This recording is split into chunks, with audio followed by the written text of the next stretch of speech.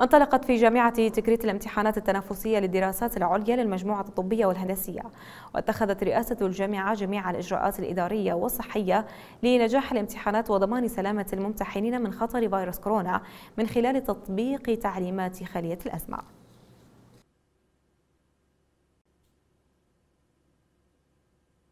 انطلقت هذا اليوم امتحانات التنافسي لطلبة الدراسات العليا. للدكتوراه والماجستير والدبلوم وفي اختصاصات الطب واختصاصات الهندسة وحقيقة كان لنا زيارة شخصية لهذه المراكز الامتحانية.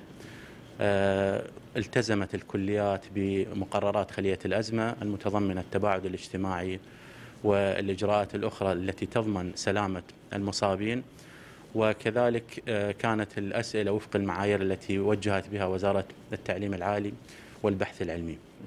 عدد الطلبة اليوم في آه، كلية الطب 109 وفي كلية الهندسة أكثر أيضا من 100 طالب أي بحدود 200 وأكثر من 220 طالب يؤدون الامتحان هذا اليوم في كلية الطب وكلية الهندسة. المؤشرات أن جامعة تكريت هي رقم اثنين على مستوى الجامعات العراقية في عدد المتقدمين وهذا يؤشر أن جامعة تكريت هي جامعة جاذبة لطلبة الدراسات العليا من مختلف المحافظات العراقية. الوزارة ذاهبة باتجاه الدوام الحضوري وأعدت حقيقة برنامج لموضوع التلقيح تلقيح كافة أعضاء الهيئة التدريسية وكذلك طلبتنا الأعزاء.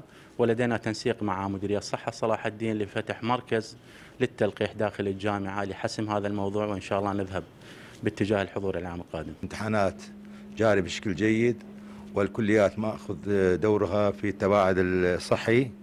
كان حيث إنه كان هناك طلاب عدد قليل من الطلاب في قاعات الدراسية. حسب تعليمات الوزارة يكون النتائج في نفس اليوم حيث بعد انتهاء الامتحان مباشرة يبدأ اللجنة الامتحانية بتصليح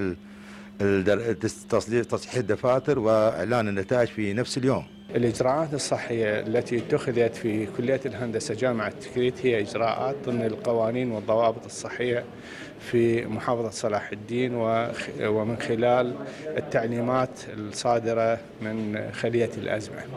آه الذي جرى هو آه بالجانب الصحي هو آه، قيامنا بعمليات تعفير وتوزيع الكمامات وتوزيع آه، مواد التعفير المتوفرة لدينا والتي تم استيراد أكثر آه، المواد من خارج العراق.